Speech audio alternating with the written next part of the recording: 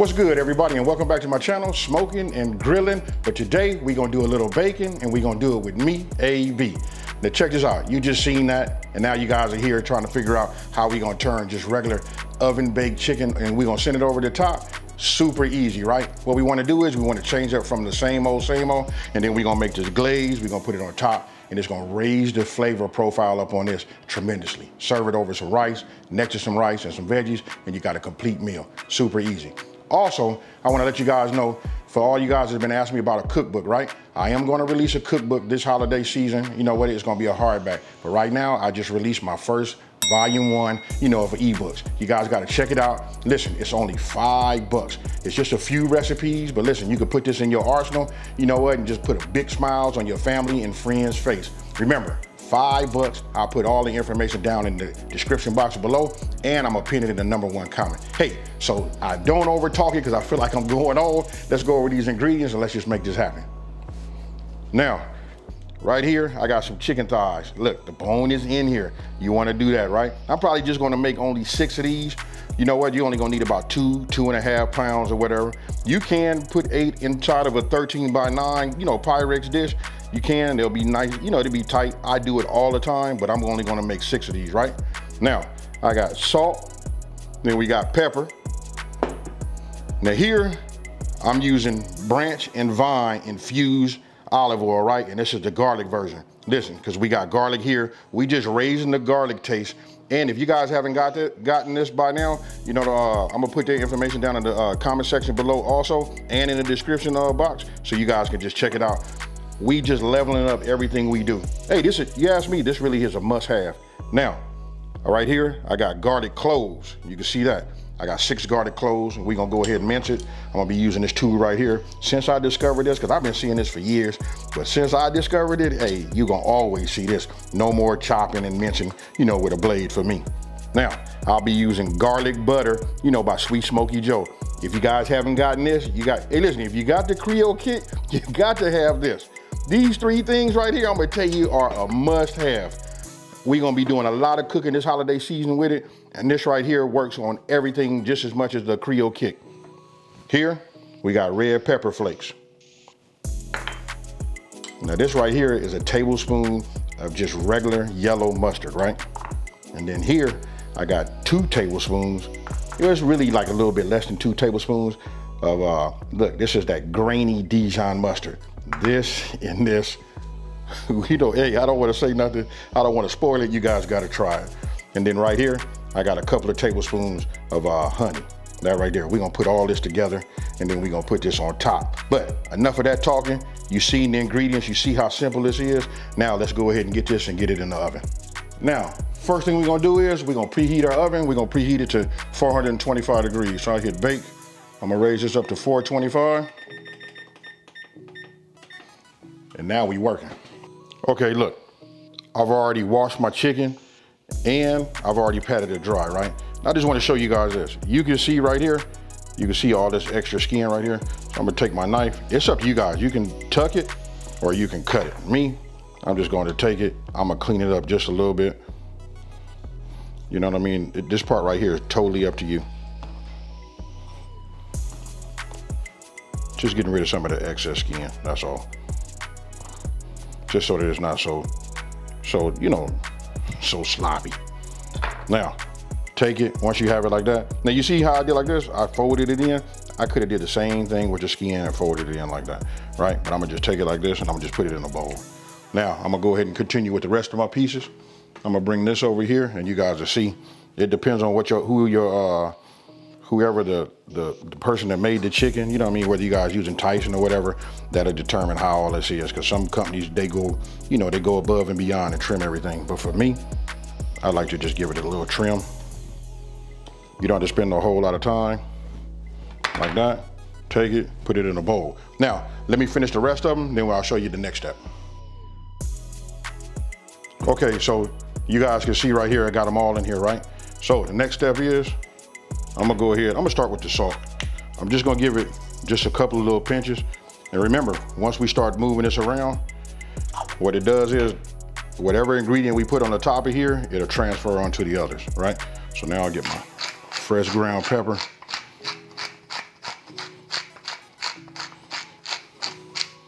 Right? And then this right here, this garlic butter right here, this seasoning right here is fire, you guys.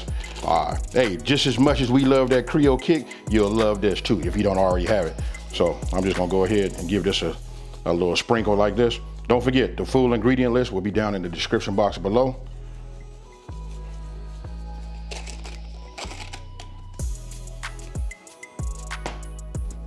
You know what? And I'll just move it around like this. This is fine. You know what I mean? Uh, I mean, listen, because of these are big items, you know what I mean? We don't want to just like toss it. I do it this way. You guys can get in there and do it with your hand too. You know, some people feel a certain way about, you know, when they're making chicken or whatever. But we just gonna roll it around like this. Then if you feel like it's not enough, this is where we customize it and you just add just a little bit more. You know what I mean? But this right here is gonna make this fire, folks. I promise you.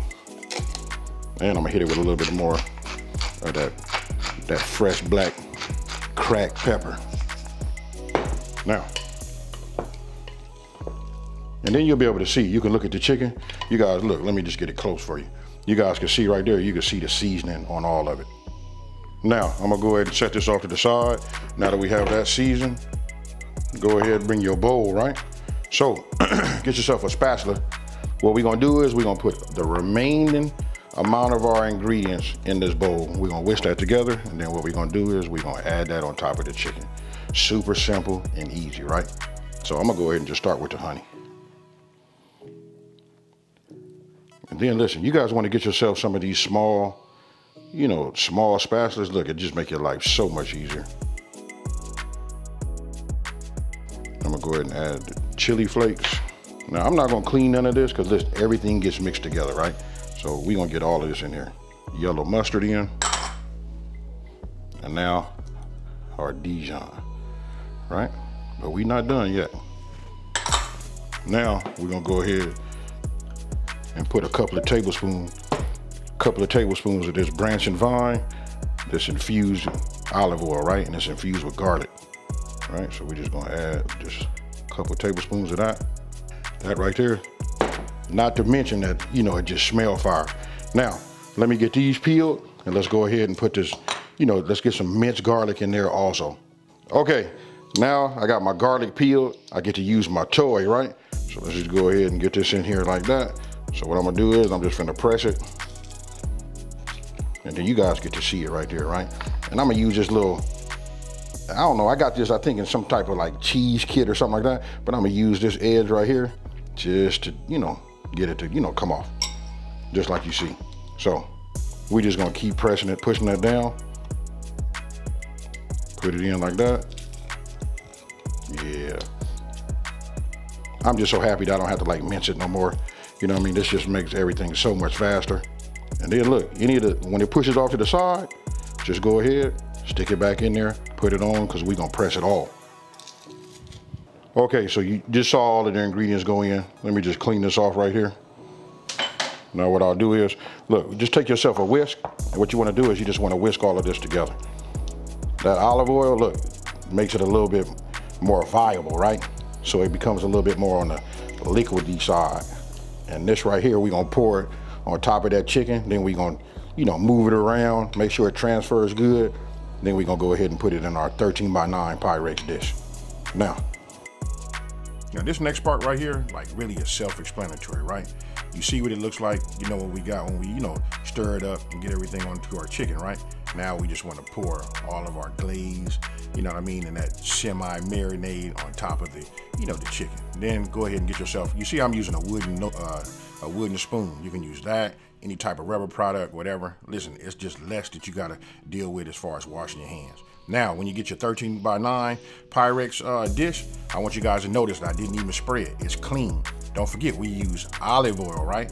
So that olive oil mixed along with the fat, you know, from the chicken is gonna create something real nice where it doesn't even stick.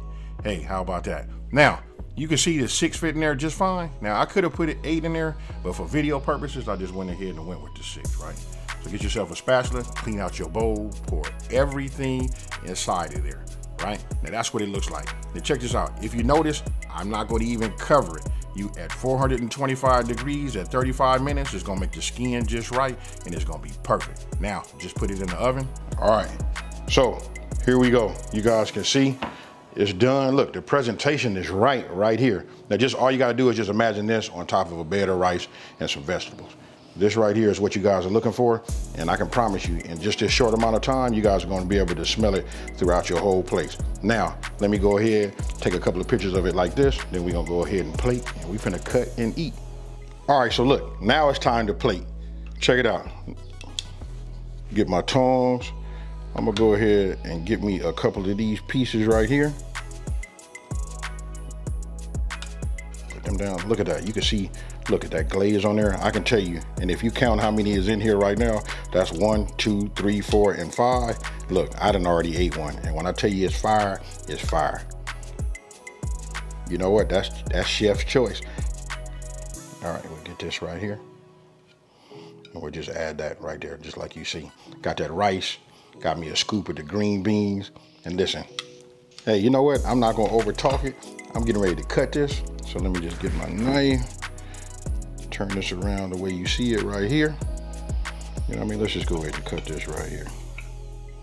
Just like that. Let's start off with this little piece right here. Now, all I can tell you is, folks, it's going down.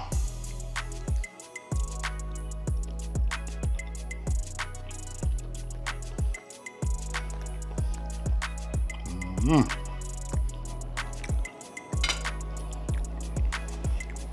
You know, I'm gonna have to go in again before I even give you a description. Check it out. Here we go again.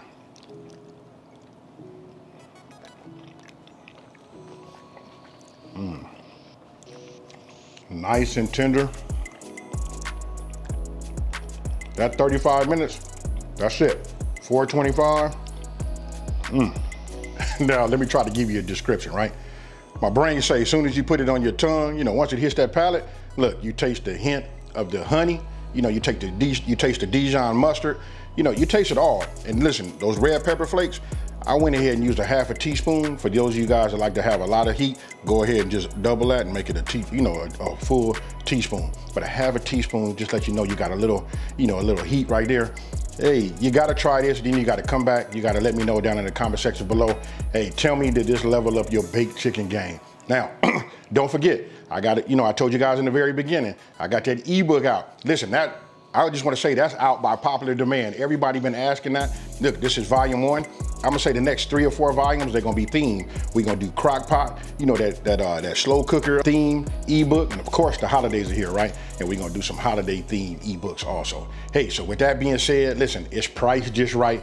Go out, get it. Don't forget all of the information to be down in the description box below. And I'm gonna put it in the number one comment so you guys can see it even just that much more easily. So with that being said, if you're new to my channel, let me just take this time to say, hey, thank you for watching this video. Don't forget to like, smash that subscribe button, and tell everybody out there there's a channel out here that's simplifying these recipes and taking the mystery out of cooking. And as you guys just seen, I need to go ahead and hit a little bit of that rice, get some of them green beans and cut some of that chicken, put all that on one fork and put it in my mouth, and we finna eat, folks. And that being said, I'm out of here.